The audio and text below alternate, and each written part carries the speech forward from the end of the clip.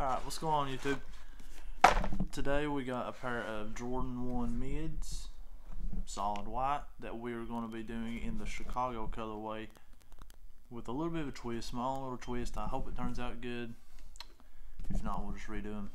So, here they are before. Let's get into this. I'm not going to do a lot of talk in this video because nobody wants to hear that. So, here we go.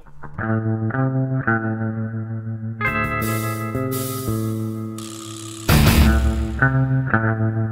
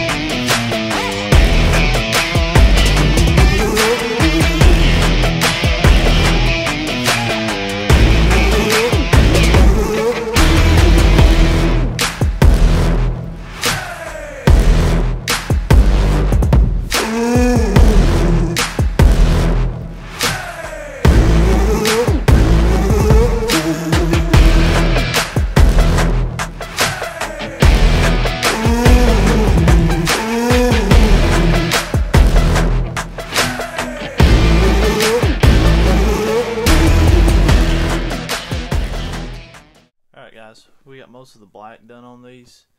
So if you was confused at what I said at the beginning about doing a little different design than the Chicago, I'm going to be doing on all of the red parts of the typical Chicago colorway like like this guitar behind me.